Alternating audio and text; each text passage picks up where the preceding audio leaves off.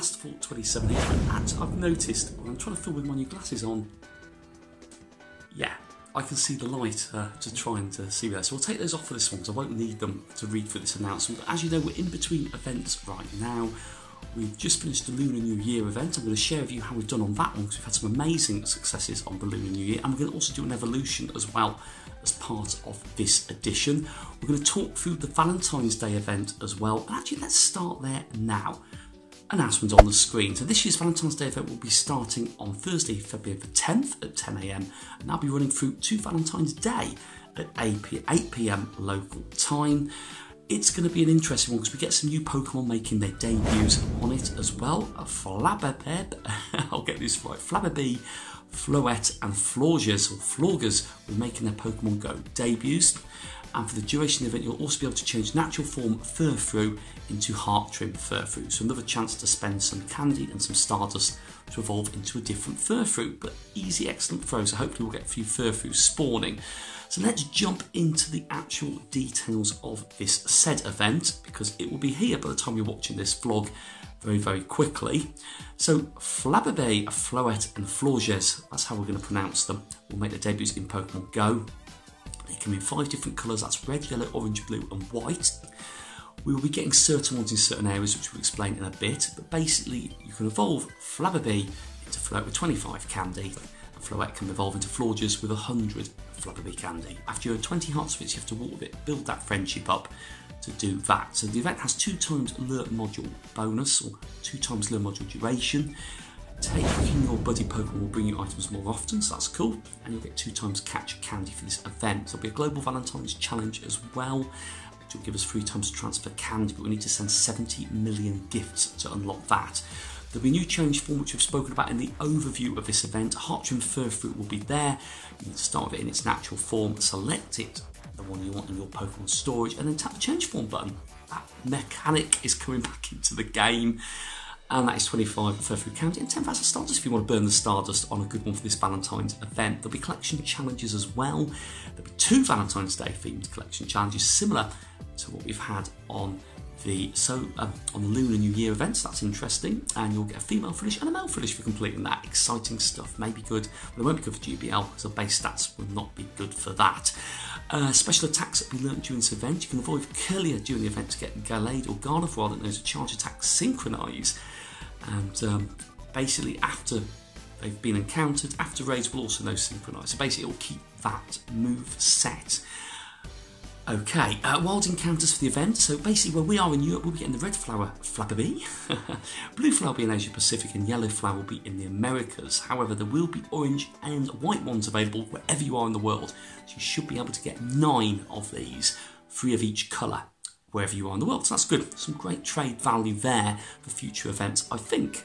Unless they mix them around like they do sometimes with regionals. But if you're lucky, you might encounter white flower Flabébé and orange flower Flabébé. That's a mouthful, no matter what region you're in. Chansey Plusle, Minun Volbeat, Illumise, Luvdisc, Woobat will all be shiny potentials in the wild.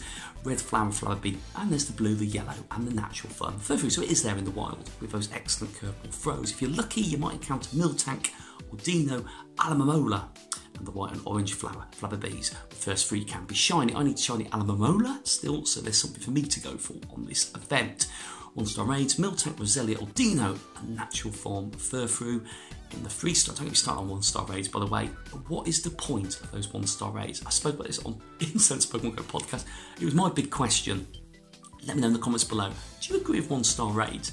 If you do, fair play, but is anything in there? Full odds Miltank, full odds Roselia, full odds Audino maybe. I, I, think there's a waste there of passes, but let me know what you think. Uh, three star raids, Nidoqueen, Nidoking, Lickitung, Gardevoir, Gallade, Lickitung can be shiny. And five star raids, Seavedge is still exciting stuff there. Uh, and Mega Raids, Mega Houndoom. Field research task encounters can give you encounters with Pikachu, Eevee, Disk, and Routes. There's Luvdisc. All can be shiny, and if you're lucky, you might encounter Frillishes, Alomomola, and Spinda with a heart pattern, which can be shiny. But that's one I really want to go for. That's exciting. There'll be new avatar item stickers and bundles, and that is the Pokemon Go Valentine's event details. Well, overall, there's something to go for on that one, I think personally. But let me know, is anything that you're really excited for? So let me tell you something that exciting that happened last night, and then we're going to go back to the previous event. R2, the old lady, as I always call him, R2 the oldie. You'll love that. Sent me a Timburr raid, and I got my third shiny Timburr, which is amazing. And with it, my strongest one yet, 1313, and I think it's a 14. I'm going to quickly do some evolutions on these ones because this is something I've wanted for a long time. I'll show you my little list. There they are, all three of them, three shiny Timburrs. Let's just check the stats on that to make sure we evolve the right one. This one is not a new one, I get it, but it's certainly one that I want to do. So let's evolve this one because this will be a shiny family complete for me, a brand new shiny family. For me, that's amazing. Did you manage to complete any shiny families recently as well? Because I'd like to hear from you all. I know it's been a few days since I posted the last vlog. To be honest with you, that's a good shiny.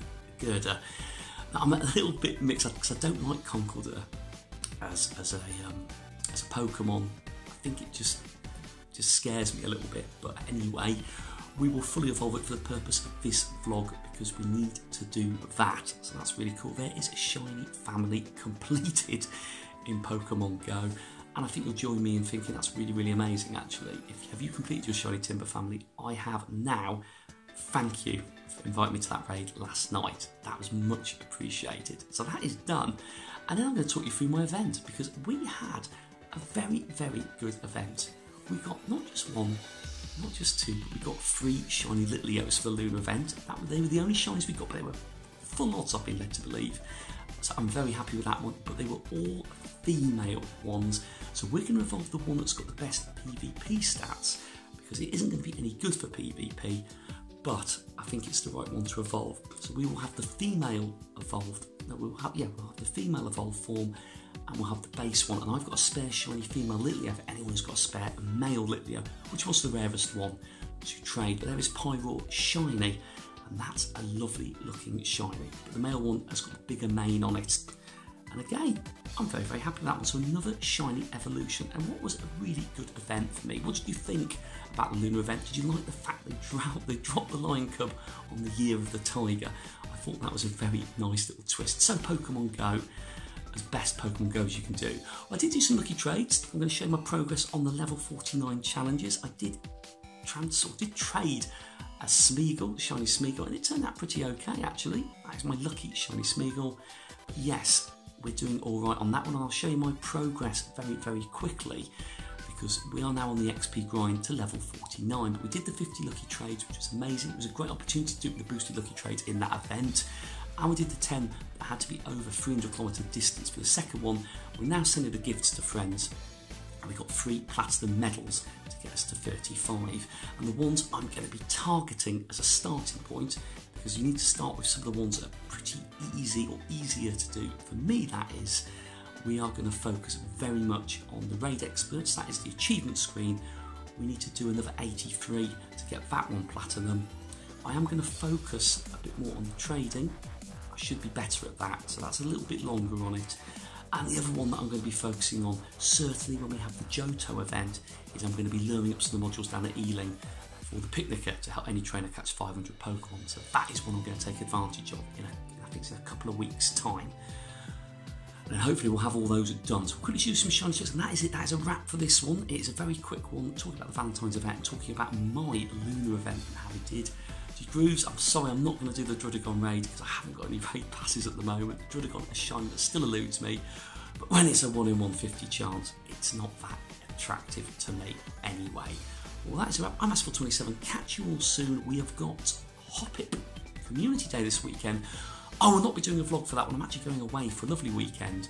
I will be playing it a bit over that day. I hope you have fun. New shinies coming to the game ahead of the Johto event. Well, that said and done, I'm Masterful27. Thank you for checking out this vlog. If you enjoyed it, please do not forget to smash a big thumbs up to show some love and some appreciation. If you haven't got notifications switched on, make sure that bell icon's on so you don't miss any updates on the channel.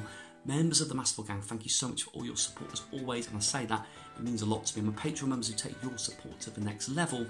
I do post some little bonuses for you on the Patreon. Thank you so much. The link will have been posted in the description of this vlog and also during it. Well, that is it. that is it. Enjoy the Valentine's event. Let me know in the comments below what you're looking forward to the most on this event. And I'll catch up with you after Hoppip Community Day. And we'll see how we do on that one. But good luck on that one. And Kanto, as I keep calling it, Johto, is not far away. Exciting times for sure.